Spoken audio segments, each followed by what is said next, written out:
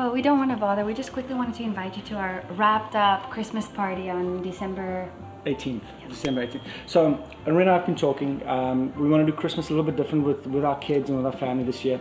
And and what we thought of is is we have so many friends that that had a tough tough year.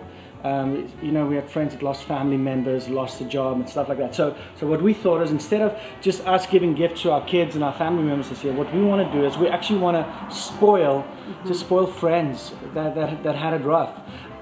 So, as we were talking about that, we think, well, we're not the only people who knows That people like that. that have friends like that, and we're not the only people who have who love other people. So we know you guys love them. So we thought we'd ask you Yeah. if you want to join us. But we've made it really easy because Yeah. we've been wanting to do this for many years, and every time when you get to Christmas, it's so busy, and you think, okay, oh, how are we gonna do this? Cost so Mm-hmm. much money. So our church is doing it all pretty much for you. So when you come to the party, there's gonna be baskets, wrapping, ribbons, everything, and some of the main ingredients for the baskets, which would be like ham, Ham, uh, potatoes, Um, potatoes. hot chocolate, we, we, You know, Marshmallows. marshmallows for the evening, cookies.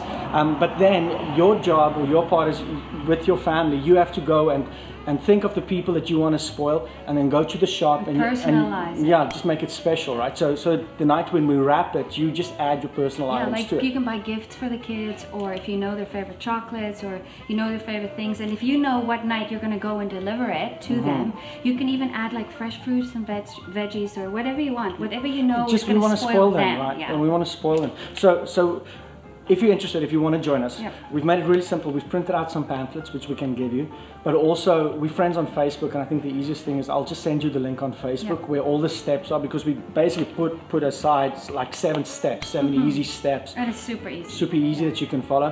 And then you join us on December 18th um, at our church. We'll have everything there. It's Oh, to tell be them about the crepes. it's going to be a big party. Yes. Christmas party. There'll be carols. There'll be ugly, ugly Yes. sweater It's gonna be so fun. Uh, there'll be photo booth, crepes, hot chocolate, Yeah, and that's, eggnog. what, and that's where we'll wrap up everything. So everybody will help each other and we'll do it together. and then you go and deliver it Yeah. whenever your family's ready. Do like our family. What we do is what we've done is Eve. Christmas Eve.